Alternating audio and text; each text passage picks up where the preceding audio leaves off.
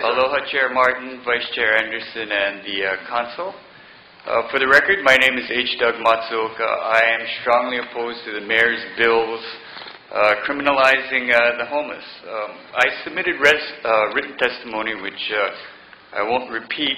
I do want to point out that um, I'm part of the Hawaii Guerrilla Video Hui. Um, it seems I've been coming to these um, hearings uh, for years, and I've really been opposing these bills since Bill 54 in 2011. But after the last hearing in the committee, I wondered why, after hours of testimony opposing uh, these bills, pointing out that sit and lie bills don't work, we had testimony from homeless people, from the former homeless, from the clergy, from attorneys, social workers, all opposing it, how it seemed to make no difference. And in fact, I wondered how the mayor uh, so enthusiastically drafted the bills, forwarded to the council, and then had a emer- uh, special session to hear it and fast-tracked it to where we are now, the third hearing.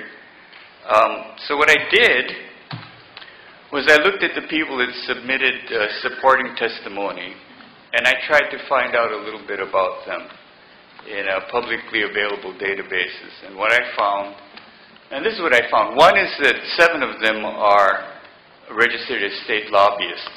Actually, eight if you include Lauren Zirbel.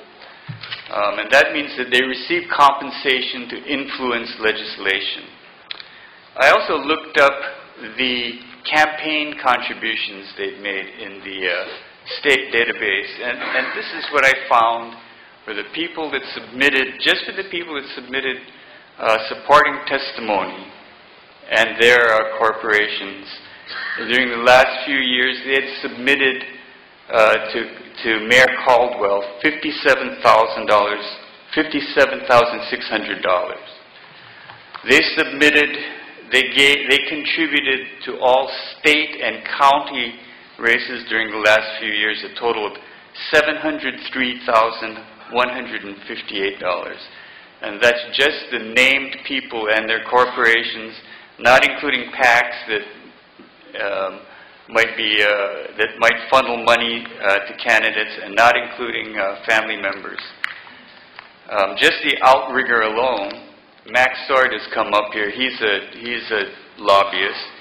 Max Sword's outrigger enterprises donated $358,000 to state and county races. $26,000 of that directly to uh, Kirk Caldwell. This is the closest thing we have to the war of the haves against the have-nots, the people with the most stuff against the people with the least stuff.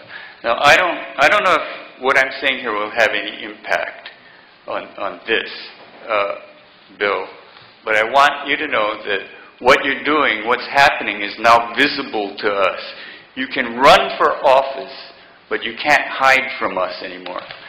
Thank you very much. Any questions? Any questions for the testifier?